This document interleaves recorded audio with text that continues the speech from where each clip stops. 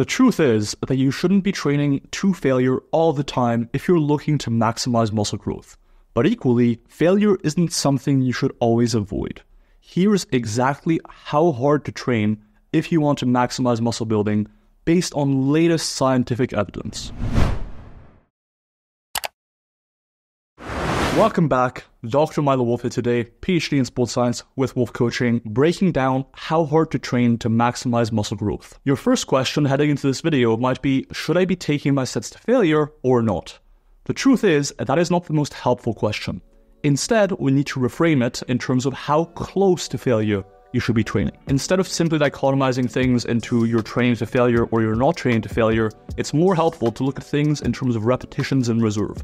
How many more repetitions could you have done with good technique before you simply couldn't lift the weight anymore. That's where the concept of repetitions in reserve comes in. It's simply something you can think about when you're doing your sets. If you think you could have done two more reps before reaching failure, you had two repetitions in reserve on that set. Why is this important? Well, for one, taking a set to two repetitions in reserve versus 10 repetitions in reserve will not have the same effect for muscle building. While you're not hitting failure in either case, one of those two sets is going to be more effective, the one where you go to two repetitions in reserve. And secondly, this concept of repetitions in reserve is how we've looked at training to failure versus not training to failure in the research to determine exactly how close to failure you should be training to maximize muscle building. And using exactly this concept of repetitions in reserve, a meta regression last year by Robinson and colleagues looked at how the effectiveness of a given set changes as you go closer and closer to failure. In other words, you have fewer and fewer repetitions in reserve. They looked at all the studies where they were able to find out how many repetitions in reserve were participants training with amongst different groups. And when combining all of those results from a variety of studies, here's what they found.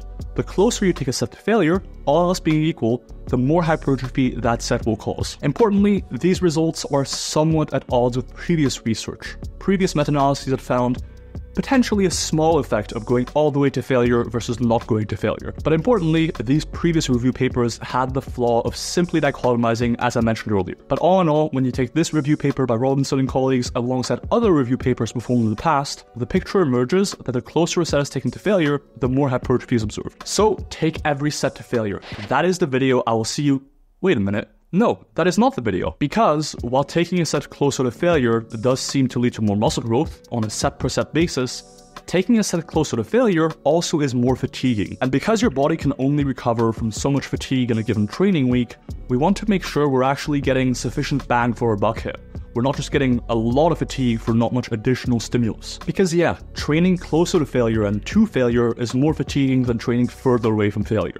And that's exactly what a study by Pareja Blanco and colleagues from a few years ago found. In this study, they had participants train with somewhere between their 4 to 12 repetition maximum. Essentially, a load that they're able to lift for 4 to 12 reps in an all out effort before they hit failure. And essentially, with a variety of loads ranging from a 4 rep max to a 12 rep max, they had participants perform both all out sets to failure and submaximal sets, where they left somewhere between two to six repetitions in reserve. Then, after they had participants perform these different tests, they also measured their fatigue in a variety of ways. For more physiological markers of muscle damage, for example, like creatine kinase levels, to more performance based outcomes, like how much weight they were able to lift at a certain velocity, which is tightly correlated to your performance day to day and therefore your recovery. Indeed, in sports science terms, recovery is typically defined as a return of performance to baseline pre disruption. And basically, training all the way to failure caused a lot more fatigue, both in terms of physiological markers like creatine kinase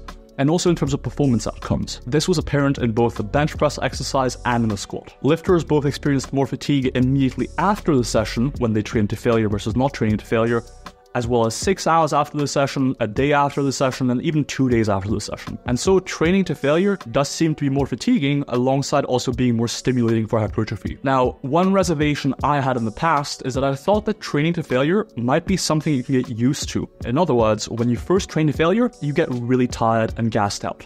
But then, as you keep training to failure week after week, maybe it's something you get used to, and the additional fatigue diminishes over time. Your body has a set of mechanisms in place that we've coined the repeated bout effect to prevent excessive fatigue when you're repeatedly exposed to the same stimulus over and over again. However, unfortunately, you may not actually get used to this over time. That is according to a recent study by Refalo and colleagues. Using a within participant design where participants trained one leg one way and the other leg another way, they were comparing training all the way to failure with one leg to training with one to two repetitions in reserve with the other leg. For both legs, they were doing single legged leg press followed by single legged leg extensions. The only difference was that one leg was training all the way to failure and the other leg keeping one to two repetitions in reserve on all sets. And this study had a few interesting findings. First, when training to failure, the drop off in performance from set 1 to the last set of an exercise was larger compared to when they didn't train to failure. In other words, the fatigue generated from training all the way to failure impaired performance on subsequent sets more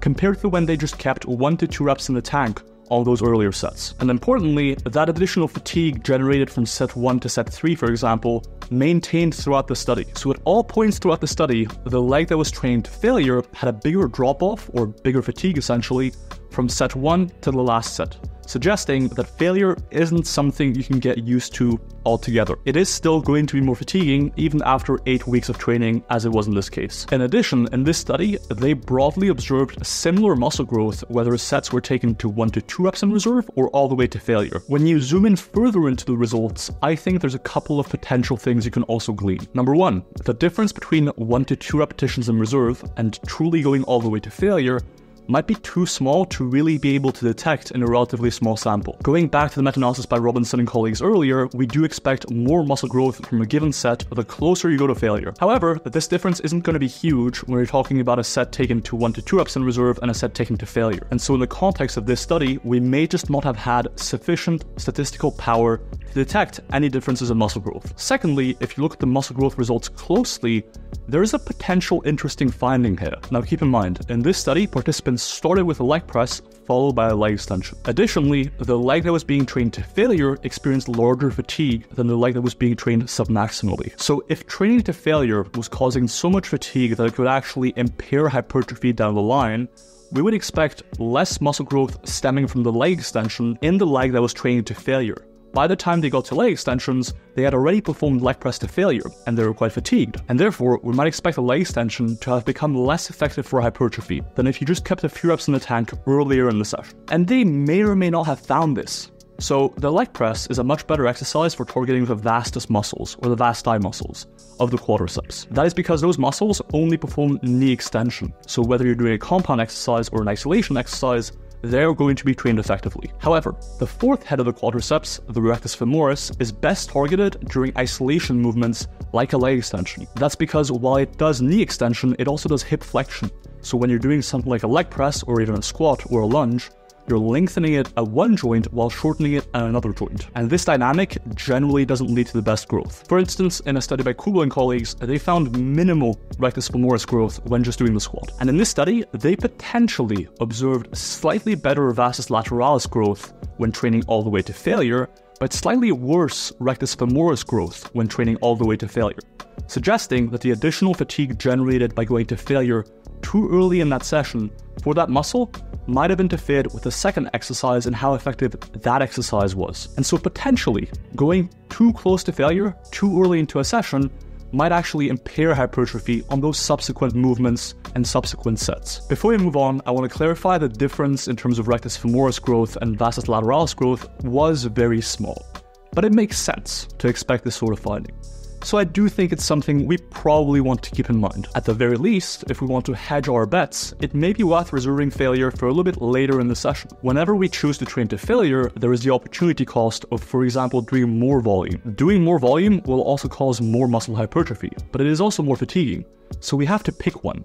Which one do we pick? Training closer to failure or doing more volume? Let me give you an analogy so you can understand how volume and training closer to failure impact your body. Your body is kind of like a sink.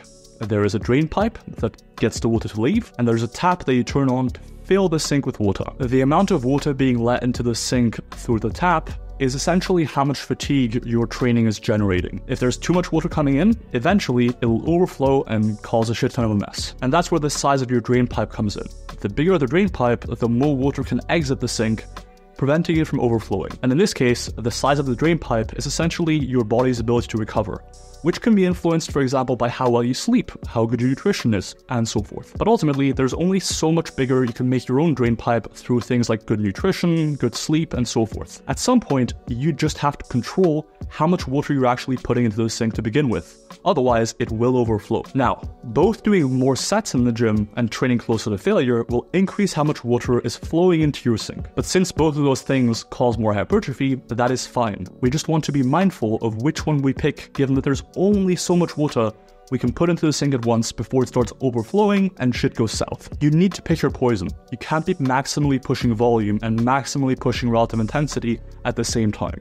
There is always some give and take. Whenever you're making training decisions, just keep this dynamic in mind. If you're pushing your sets closer to failure all of a sudden, just keep in mind you might need to lower the number of sets you're doing. With that being said, most people can recover from much more than they think they can. And in fact, reported cases of overtraining within the literature are remarkably rare. But so, which one should you prioritize? Should you be doing more and more sets to get more hypertrophy, or should you be taking your existing sets closer to failure? Well, there is a meta analysis coming out soon by the guys over at Data Driven Strength that should give us some answers in that regard. But in the meantime, here is my attempt and my practical advice to you as to how close to failure you should train and how many sets you should be doing. The aim here is to get the best of both worlds. If you want to maximize muscle growth for a given muscle and you've been training for more than about 6 or 12 months, there's a good chance you'll need to do 20 to maybe 30 sets per week per muscle to really maximize hypertrophy. And yes, those sets are close to failure. Some people in my comments always be talking about there's no way you can do that much volume or train close to failure without overtraining.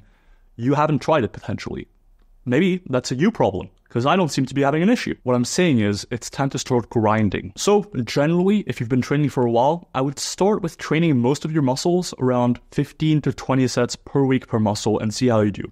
If you want more growth and you're responding reasonably well, feel free to increase it closer to the 20 to 30 set per week per muscle range. As far as how close to failure to train, I think we want to get the benefits of training close to failure without getting the downside of getting more fatigue in. And the following is my attempt at getting just that. Whenever you're training for muscle growth, start the first set of an exercise a bit further from failure. For example, at two repetitions in reserve. Then, as you perform each subsequent set on that exercise, inch a little bit closer to failure maybe all the way to failure on that last set. That way, you get to maintain a high level of performance by not going to failure too soon in that exercise and fatiguing yourself for the subsequent sets.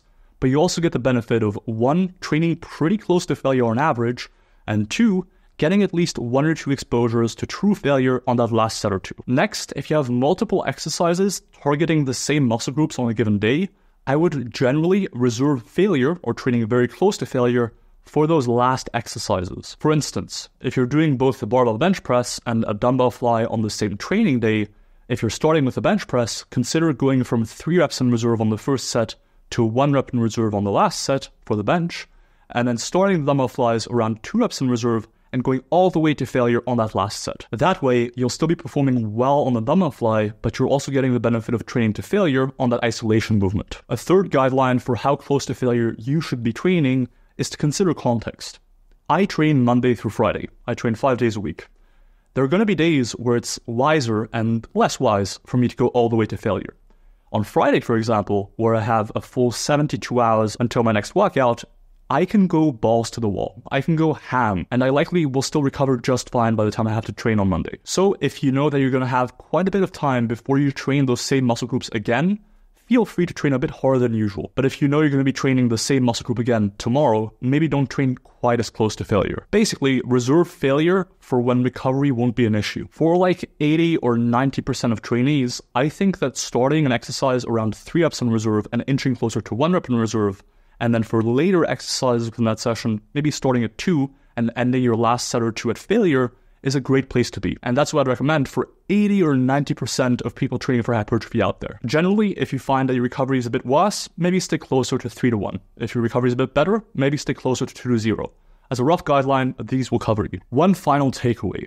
If you don't have much time to train across the week anyways, like you're in the gym for an hour to maximum per week regardless, you should be taking each set very close to failure. In fact, I would probably go from one rep in reserve on your first set all the way to failure for your last few sets on every exercise. Because for you, fatigue won't really be an issue. You're barely filling up that sink at all. And so no matter how big your drain pipe is, it won't ever overflow. If the ultimate bottleneck for muscle growth for you is time and not recovery, then ignore what I said. Just train close to failure most of the time. I have a whole video on how to train if you're pressed for time somewhere up here, but specifically for you, if you're pressed for time, you will want to opt towards training closer to failure versus just doing more sets all the time. That is the video. I hope you enjoyed the video. If you did, please leave a like, comment, subscribe. Let me know what other videos you want to see me make. Milo, I don't want to be thinking about all this training to failure or not training to failure stuff. Isn't there just something that can do all the thinking for me? There is, and it's called MyoAdapt. MyoAdapt is a training app that is essentially a coach in your pocket. All of the stuff I mentioned throughout this video about how you should train a bit further from failure when you start an exercise and an inch closer and closer to failure, yeah, MyoAdapt does all of that. It tells you how close to failure to train for earlier sets of an exercise as well as later sets of an exercise. It takes into account your recovery to dictate how close to failure to train. It auto regulates how many sets you're doing per week per muscle based on your performance and other feedback week to week. And I'm confident in saying there is nothing else like it out there currently. Go to myoadapt.com and sign up to be notified when it does get released. If you're training for hypertrophy, I think it's a no brainer. Now, I hear you saying, Dr. Wolf, that is a nice oversized quadruple XL t shirt. Please don't fact check me on the size, I was lying. If you like the t shirt and you'd like to support Wolf Coaching, check out rascalapparel.com. It's comfortably my favorite training clothing to use, and since I like it, I think you might like it too. Use code WOLF at checkout to get 10% off. Finally, in the meantime, if you'd like me to coach you and help you reach your goals, check out the link above and I can become your coach. That is the video. Have a phenomenal day, and we'll see you next time. Peace.